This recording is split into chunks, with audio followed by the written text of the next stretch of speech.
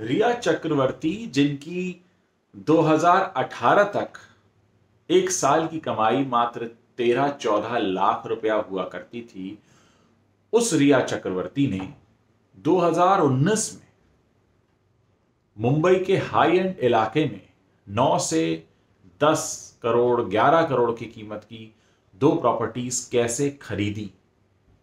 इस पर जाँच की जा रही है। जी हाँ एनफोर्समेंट डायरेक्टरेट जो इन्वॉल्व हुआ है इस केस में, वो इसकी भी पड़ताल करने वाला है। मैंने आपको अपने पिछले वीडियो में बताया था कि कुछ इलीगल प्रॉपर्टीज़ खरीदी हैं, लेकिन उसका अगर हम डिटेल में एंगल समझने की कोशिश करें तो बात यह है कि अगर आय से ज़्यादा संपत्ति, ये बहुत बड़ा मामला बनता है। आय से ज़्यादा संपत्ति का मतलब है ब्लैक मनी आय से ज़्यादा संपत्ति का मतलब है मनी लॉन्ड्रिंग हवाला या फिर किसी भी इलीगल एक्टिविटीज़ में इन्वॉल्व होना, सरकार को धोखा देना टैक्स बचाना, ये सारे वो एरियाज़ हैं जहाँ पर बहुत सख्त कार्रवाई होती है। आप खुद अंदाज़ा लगाकर देख सकते हैं कि अगर किसी व्यक्ति की इनकम तेरह चौदह लाख रुपए की है तो वो 9 से 11 करोड़ रुपए की प्रॉपर्टी कैसे खरीद सकता है? कौन से बैंक ने अगर उसे लोन दिया तो कौन से बैंक ने दिया?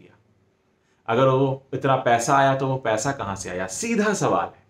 सीधा सवाल है कि 14-15 लाख, मैक्सिमम 13 से 15 लाख बताया गया 2018 तक उनकी कमाई थी तो इतना पैसा उन्हें किसने दिया? अगर ये गिफ्ट है तो किसने दिया? क्योंकि इतना महँगा गिफ्ट भी नहीं हो सकता। अगर ये पैसा सुशांत का है तो क्या उसमें सुशांत का नाम है? तो ये बहुत सारी बातें हैं और निकल कर यही आ रहा है कि सारी इलीगल प्रॉपर्टीज़ हैं जिसमें रिया पर शिकंजा कस सकता है। मैंने आपको पहले भी बताया कि एक तो फिनेंशियल मामले बन रहे हैं रिया के खिलाफ, जिस तरीके से हमने पैटर्न देखा पिछले कुछ दिनों का। और फिनेंशियल के अलावा क्रिमिनल चार्जेस भी लगे हुए हैं, क्योंकि एफआईआर दर्ज हुई है, नामजद दर्ज हुई है, पूरे परिवार के खिलाफ दर्ज हुई है।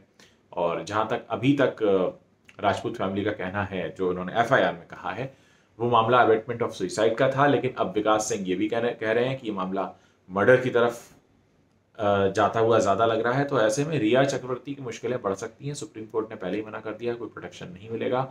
और अगर ये तीनों मामलों को देखा जाए बिहार पुलिस की तरफ़ से एफआईआर दर्ज है, सीबीआई एफआईआर दर्ज करने वाली है, ईडी ने सम्मन भेज दिया है और वहाँ से भी उनकी शिकायत दर्ज होकर गिरफ्तारी हो सकती है। तो ये तीनों मामलों में, चाहे हम बिहार पुलिस की एफआईआर की बात करें, या हम सीबीआई की एफआईआर की बात करें, जो हो सकती है बहुत जल्दी फायर, या फिर हम ईडी के संबंध को देखें। इन तीनों मामलों में रिया की गिरफ्तारी बहुत ज़्यादा संभावित लग रही है। इनफैक्ट बहुत सारे लोगों ने इसी बात पर हैरानी जताई है कि उनको अभी तक गिरफ़्तार क्यों नहीं किया गया तो मुझे लगता है अगले 48 घंटों में रिया चक्रवर्ती की गिरफ्तारी की खबर भी आ सकती है। जो भी अपडेट होगा, हम आपके लिए लेकर सबसे पहले हाजिर होंगे। Thanks for watching